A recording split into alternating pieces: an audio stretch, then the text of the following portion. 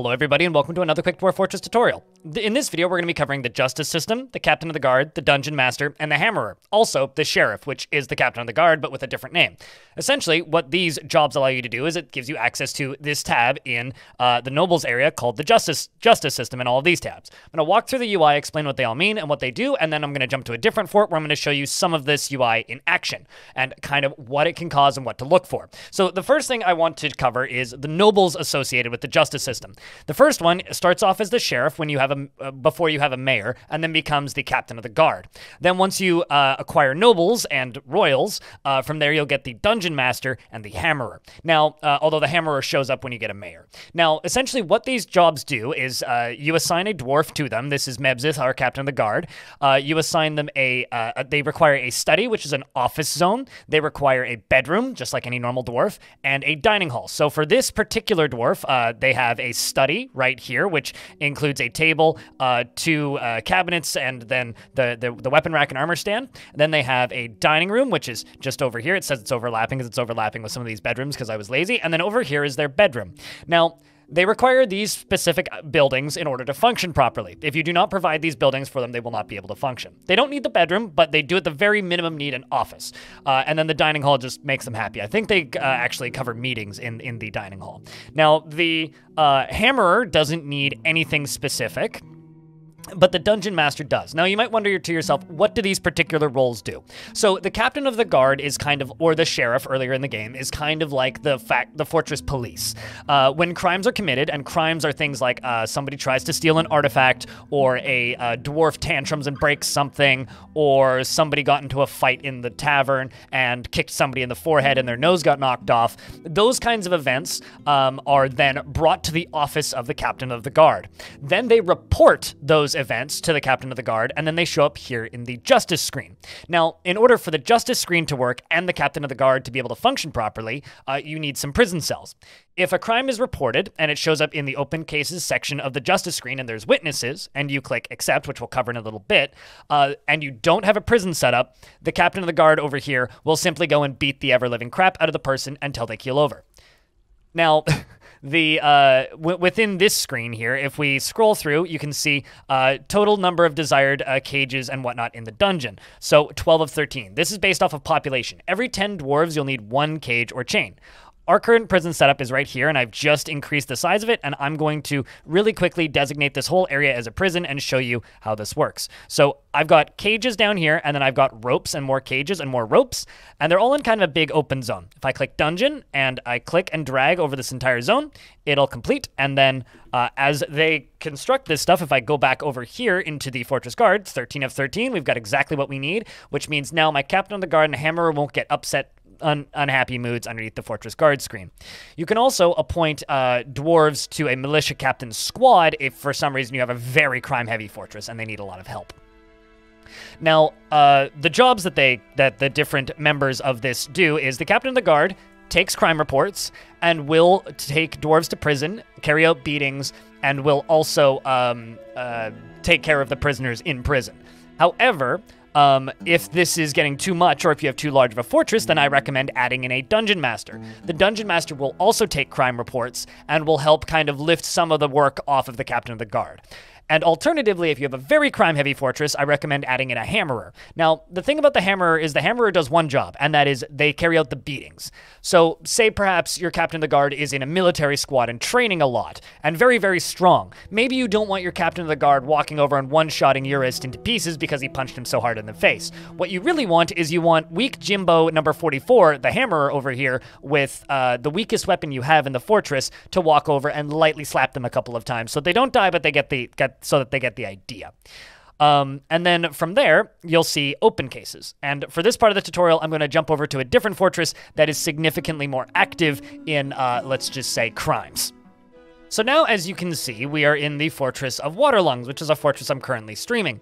This fortress, if I go through, we have all of these unsolved crimes. Now, these can be one of two situations. These can be a uh, an attempted uh, somebody trying to steal something from the fortress. This could be somebody committing a crime and it not getting reported correctly. In the case of all of these, these were all um, not reported correctly. So we don't have any witnesses because they were reported before uh, my captain of the guard was fully equipped to actually uh, deal with uh, problem dwarves. They can also become unsolvable um, if the perpetrator gets killed. So keep that in mind.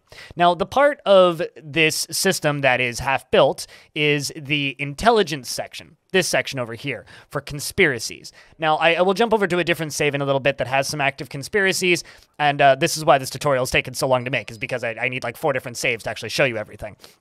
But essentially, uh, we have these open cases. Now, open cases are uh, recently reported crimes. Um, if we, for some reason, had uh, uh, no witnesses, we can go through and we can interrogate anybody in the fortress. So, if us, the player, witnessed a fight happening and it didn't get properly reported, I can go and interrogate somebody who would have witnessed that fight, and hopefully that will give us some more information as to who did the the violence. Now, if you scroll down, you can even interrogate a goat if you wish. Although I will admit um, while this does train uh, your goat's um, uh, or or not your goat, your captain of the guard's speaking ability, it will not uh, give you much chance of finding the perpetrator. So I'm going to uh, interrogate uh, two dwarves here, and then I will show you the result in the intelligence screen. Now, as this dwarf gets dragged off to be interrogated, something that is also worth noting is if you have public taverns, it might not be a bad idea to just interrogate random visitors that show up. Now that the interrogation is complete and the dwarf has been brought to the office to be interrogated, we can then go back into the noble's screen to see the results. So if we go to the justice screen, we can go to intelligence and we can look at this interrogation report. And if I click on it, it says uh, that we met with the subject on behalf, and the uh, subject uh, uh appealed to the subject's belief in truth, and the subject valued honesty, and despite being intellectually stubborn, and the subject used uh, Iton tattooed stake as an alias in the past. So in the past, this dwarf has actually lied about who they are, and we just learned a little bit of information about this dwarf. Of course, this doesn't expose any plots or organizations, but it does give us an actors list. They haven't committed any crimes, so we know that they are not involved. Now, this system can get quite interesting when you start interrogating uh, people that are trying to steal artifacts, because they will give you information like, oh, this person from an unknown civilization or unknown entity uh, plotted to steal this artifact. Now, this is where this gets clunky because this system is half built. This system is supposed to be part of the uh, villains and uh, treachery systems in Dwarf Fortress. And the problem with uh, this is this system is uh, half of a patch. Uh, we got part of this system uh, so that Zach and Tarn Adams could go work on the Steam version that you're seeing now. Um, so these features have actually been in previous versions of the game, obviously with the older UI, but uh, it's it's unfinished. It is impossible to complete a lot of the um, plots that you'll get strewed out. However, you can still get some really interesting bits of lore out of it, so it is still worth paying attention to this system. And some other reasons why you want to pay attention to this system is, as you can see, we have a bunch of dwarves in prison here. Um, if I look at them, this person, this dwarf right here feels uh, guilty after being confined. Uh, this dwarf over here, actually, this militia captain, Lolar, actually feels repentant after being confined, meaning this is actively improving their mental health uh, being in prison. You can also make extremely nice prison cells for your dwarves, and this will incredibly and greatly greatly increase the happiness of the dwarves. If you have something like a vampire in your fortress and you see them walk into your fortress and they look odd and you're very suspicious of them and you interview them, they might just admit to being a vampire and then you can put them in prison and seal off the door permanently. Also, little dwarves like this little child here, what, it's Frank, is actually feeling sympathy after bringing somebody water. So this dwarf is getting positive moods from it. From it.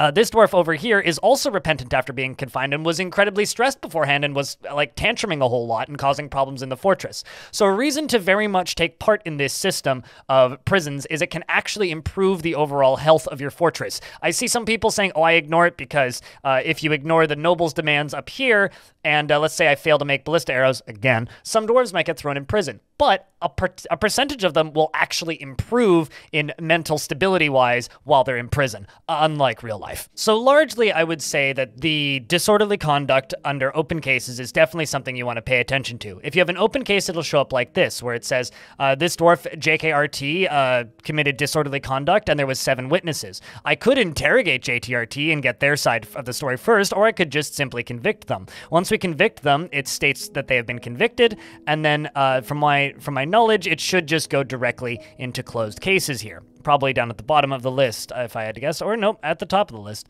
From looks of things, I need to unpause the game ever so slightly, repause it, and jump back over to closed cases. And it hasn't popped up yet. They'll get it in there. And then over here we have uh, cold cases, which are usually just somebody died before uh, they could possibly um, be convicted. Now you can still convict dwarves within cold cases, and you can also interrogate dwarves. And if you can find a witness, you can convict them, which any dwarf that values the law that was uh, involved in that case, or any dwarf who's tangentially involved or related, will get happy thoughts about the fact that, well, this dwarf, Fallout Rain here, uh, injured Jaden, and uh, so now all of Jaden's family are, oh, yes, and they're happy. And if Jaden is still alive in the fortress, then that dwarf will be happy as well.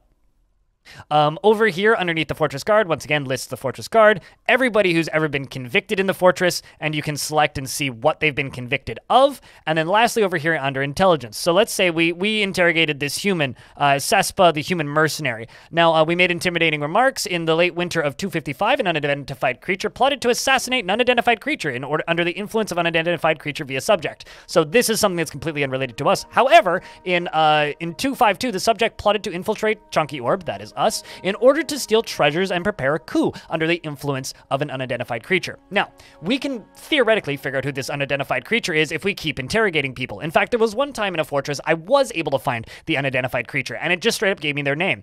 However, the prepare a coup portion is unfinished, so that will never actually happen. Same with certain artifacts getting stolen. It's very difficult to get the artifacts back. A lot of this, a lot of the artifact theft stuff is primarily an adventure mode feature where you're kind of intended to go find the artifact in adventure mode and then bring it back or and uh, the coup stuff that is part of villains part two. If you see assassination attempts talked about that is villains part two. If you see uh, various other things uh, that it seems like you can't interact with or nothing ever happens then that is also villains part two generally which is an upcoming update that'll be out probably around the same time as Adventure Mode, if I had to guess.